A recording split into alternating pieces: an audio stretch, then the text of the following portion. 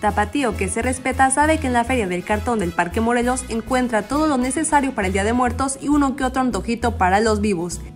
En el occidental nos dispusimos a recorrerlo y encontramos ofrendas miniaturas que representan lo mejor de nuestra gastronomía mexicana.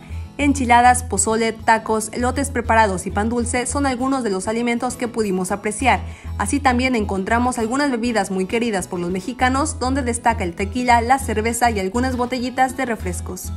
En nuestro camino también se atravesaron las tradicionales calaveritas de azúcar y su presentación de chocolate, las cuales puedes personalizar con el nombre de alguien especial sin ningún costo adicional.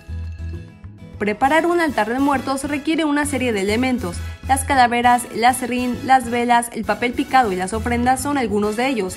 Es tanto la preparación y los colores que invaden esta fecha que algunas personas han expresado que esta festividad es tan importante como la Navidad.